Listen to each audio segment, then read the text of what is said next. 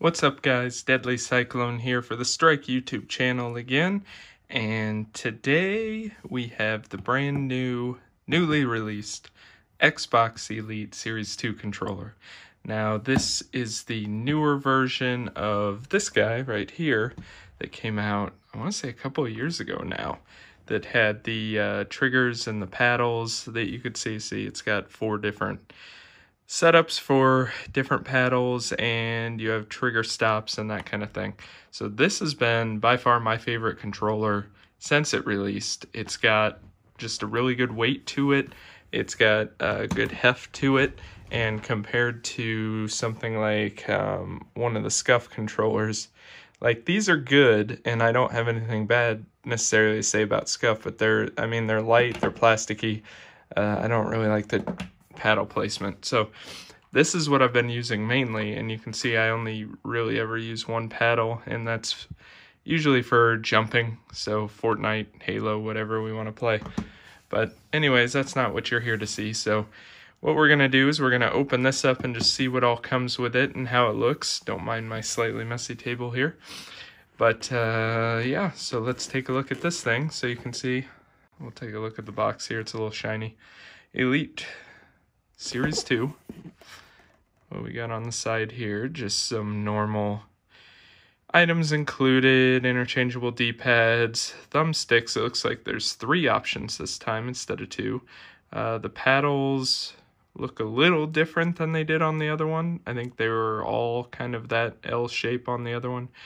You have your case, which you got with the other one, uh, charging dock, which is new. So this new one has an internal battery, and it comes with a charging dock. So you just pop it on there like you would anything else, and it charges. So you've got that dock right there. Um, thumbstick adjustment tool, that's another new thing. Um, in these, this new Series 2, you can actually adjust the tension on the thumbsticks, which is something that a lot of people have wanted because a lot of people, including myself, think the Series 1 thumbsticks are a little too loose by default. And you get a USB-C cable, which given this controller is supposed to be forward compatible with whatever the next Xbox is, I think there's a pretty good chance we're finally going to get USB-C for that, which is great because I hate keeping these micro USB cables around. I have to keep one for that thing too, so I hate it. But here we go. Here it is. Nice case. As you can see, this looks very similar to the case from the other one, which I have somewhere. Um, if you look at that, there's even a USB-C port in there. So I think, and we'll see, but I think you can keep the charging dock in the case and you just set the controller on it. So pretty nice case. It weighs a lot. And that's one of the things I do love about these controllers is they feel well built. And they should for as much as they cost. Otherwise, I think that's pretty much it. And oh, oh, oh, I lied. Look at that. What do we got in here? Uh, looks like a USB-C cable to me. Let me get this open here. Yep, nice braided USB-C cable, Xbox logo there. Looks pretty long, which is nice because if I tilt up here, you can see my Xbox is a decent ways away from me, and you can never have enough cables. We'll throw that aside. That's just plastic insert, nothing else in there. Um, in the bottom here, it looks like your typical, all normal booklets and safety and whatever. So, Xbox Elite Series 2. And you can see this just kind of shows you what you get in the box, um, what all the buttons do. So you can see it has a profile button again, interchangeable thumbsticks. Nice charging indicator, um, profile indicator. So it looks like there's three as opposed to two on the last one, which is nice. On the back, you got your charging pins, your hair trigger locks, so that's for the triggers, um, your paddle placement. And there you go. So here, here's how you can see. Um, you can actually charge the thing while it's in the case zipped up, which is kind of cool. So if you're at an airport or something and you have this thing as your Bluetooth controller for say your iPad to play Fortnite or whatever you're playing, you can just plug it in quick and go. Or you can see in the bottom left picture there, it looks like that's what it looks like with the charging dock out of the case. I know, super interesting to look through a booklet, right? Um, overall, just normal stuff. Batteries low, batteries charging lights, power, how to sync it up to your Xbox or PC. Looks like you just hold it. Da da da da da. It sees it. Blah blah blah. Here's some interesting stuff. Um, this was in the first one, changing the different D-pads. I always use that one. I just like how it feels. Changing the uh, paddles looks fairly similar. Joysticks looks fairly similar. And here's the new little key for tension. It looks like you just put it on there and twist it. So uh, I think that's pretty much it. So let's uh, take a look here. Um, if I can do this with one hand. Apologies ahead of time for the extreme close-up as I unzip. Just use that as some ASMR. Unzip. And there we are. So, let's set this one next to it. Here's a, move some of that stuff back, drop something, oh well.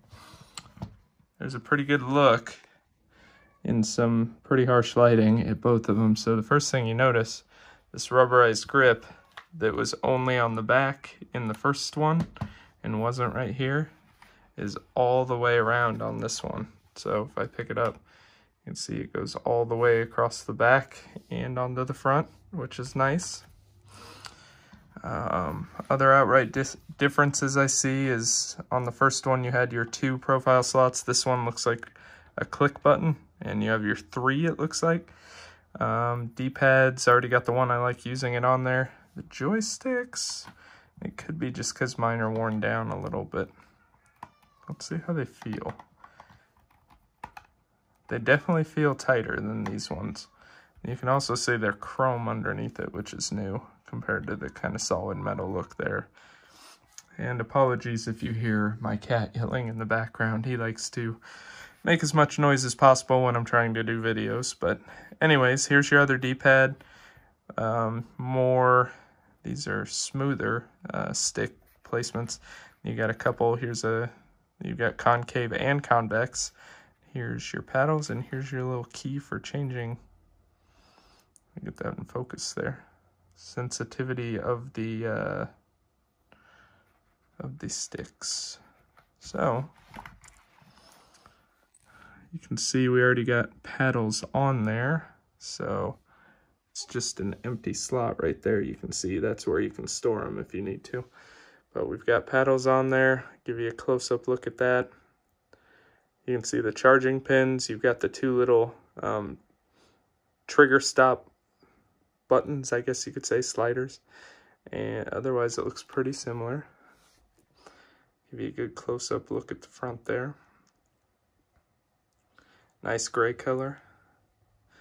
Looks like you have a port on the bottom. You've got one for your 3.5 millimeter. And this other one, I'm actually not 100% sure. I guess that's the same one that was on this one that I apparently never used for anything.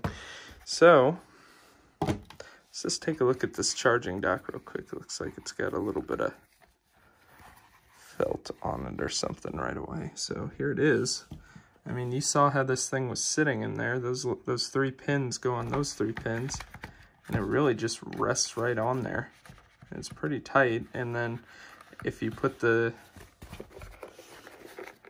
cable through the hole back here, you can see in there that it goes right into the charging cable port of the controller. So I won't bore you too much with any, any more of the details, but you can see these come off. They're magnetic just like they were before. And you can put it here and I could say take, uh, do we have one of the fun ones here? Let's take uh, the rounded one. And really it's just like nicely magnetic. So you could change your whole, whole controller look to have kind of a little more convex, like the uh, PlayStation controller does by default. So if you like that feel, you could do it there or you can switch it here. You can really do it anywhere. I mean, they also come with the kind of longer one if you're into games where you have to snipe a lot or you want broad, slow movements. I never really got much use out of that one, but I know a lot of people that actually did. And there's the regular D-pad. I'm probably going to keep this on just because it gives you a lot more directional control, I think, than the normal one does, but the normal one is there. Um, it looks like you can pull this whole charger out, so you can see just USB-C. So if I set that there, let's see. Let's see how it just kind of sits on there, it looks like. Oh, huh. So it doesn't really sit as well if it's just flat, unless I'm totally doing this wrong, and it should go like this. Which I think it should. Yes, because it should line up with the hole. there we go. And never mind my mistakes. But it really just sits on there and you can see it's even a little magnetic, it feels like. You can see if I get it on there right, it picks up the base. So that's nice. So you don't have to keep it in there. You could just set this on your uh, desk or wherever you have it. And when you're done for the day, just throw your controller on there. It charges up. That's nice because a lot of times with this one, I will go to play or I'll have an extended play session and my battery will get low. I have to find a cable. And especially since it's, you know, USB micro, I'd always have to find the one or two cables I still have for that since everything else is either lightning or USB-C at this point. Um, but overall, that's kind of it for now. Um, we'll give you one more kind of close-up look at that. I think it's going to be a lot, I mean, it's not going to be a lot better because the first one's really good, but just holding it, it does feel better. It's got a little more weight. Uh, the triggers even have a little bit of um, texture on them, which is nice. They feel slightly more rounded up after I've been using the other one for so long. I'm not sure what sticks I'll use. I might leave this one on there and just see how it goes. I kind of like the ability to roll my finger like that, but otherwise, we'll give it some playtime, see how it goes, and see what the overall impressions are, but I'm guessing they're going to be like this one and really good except slightly better because you can now change sensitivity and things like that. Um, if you do get this or that one and you've never had them before there is an app on the xbox or on the pc that you can download. Um, i can't remember the exact name of it if it's xbox accessories or something like that but that's where you go to make your profiles.